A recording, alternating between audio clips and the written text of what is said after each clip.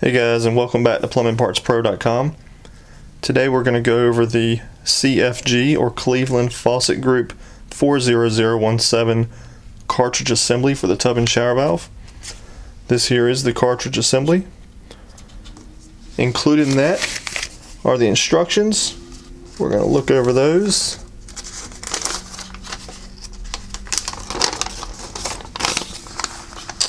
That shows CFG Cleveland Faucet Group installation instructions, cartridge replacement for non-pressure balanced tub and shower.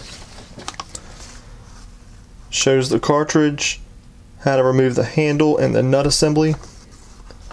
It shows how to install the new assembly.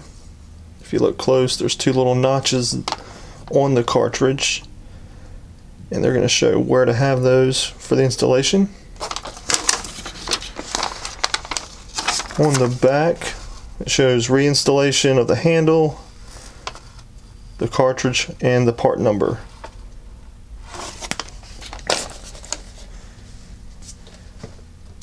Here is the cartridge, squared top.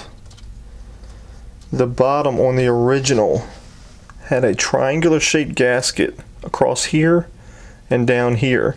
That is the older design. This is the new style. It's going to have oval washers this is the replacement cartridge. You may see some pictures of the other one on the website. That is the old style. This is the new one. I will try to get that updated for you. As far as the sizing, we're going to take a measurement here. The diameter,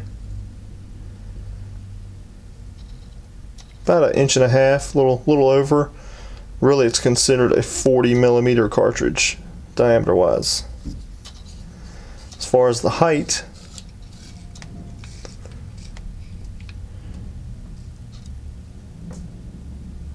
about 63 millimeters or two and a half inches. This is the overview of the 40017 CFG cartridge by Cleveland Faucet Group.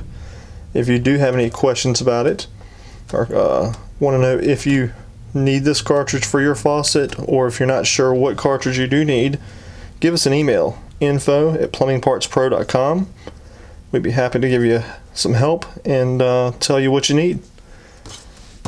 Thanks a lot. We're going to do a little uh, review on some other products coming up soon, so give us a subscribe.